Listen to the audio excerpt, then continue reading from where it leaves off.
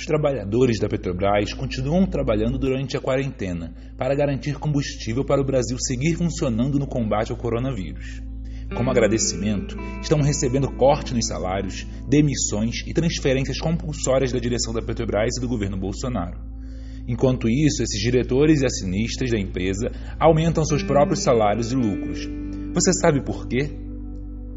Você deve ter visto que, por conta da crise do petróleo, o preço do barril abaixou em um mês de 55 para 26 dólares, entre fevereiro e março. Mas não deve ter visto o preço baixar assim na bomba do posto, né? Muito pelo contrário. A Petrobras, a mando de Bolsonaro, decidiu que ia seguir o preço internacional do barril de petróleo para determinar o preço do combustível para os brasileiros. Mas, quando baixou o preço do barril, não vimos a gasolina baixar na bomba. Ou seja, Bolsonaro só quer seguir o preço internacional quando for para aumentar. Para baixar, não.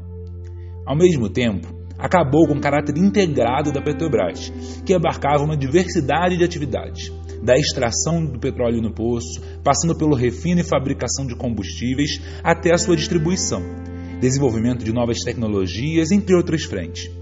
Decidiu fazer da Petrobras uma empresa só de extração de petróleo cru, uma verdadeira colônia de extração de matéria-prima para o exterior. Vendeu a preço de banana para a iniciativa privada as suas subsidiárias, como a Liquigás, a BR Distribuidora, a TAG, os dutos do Sudeste, hibernou as fábricas de fertilizantes do Paraná e arrendou as da Bahia de Sergipe, e ainda quer vender as refinarias a Transpetro, e agora, neste momento, está hibernando diversas plataformas de petróleo e outras unidades no Sudeste e Nordeste brasileiro.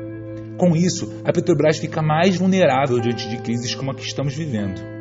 Ao somente vender petróleo cru barato para importar do exterior o petróleo refinado a preço mais alto, a Petrobras, a mando de Bolsonaro, encarece os combustíveis para os brasileiros, como gás de cozinha e diesel, gera ainda mais desemprego no Brasil, além de deixar nosso país com um risco permanente de desabastecimento, pois se não for lucrativo, as empresas estrangeiras não serão obrigadas a abastecer o Brasil com combustíveis. Eles estão vendendo o Brasil e ainda jogando as consequências nas costas dos trabalhadores. Você acha isso justo?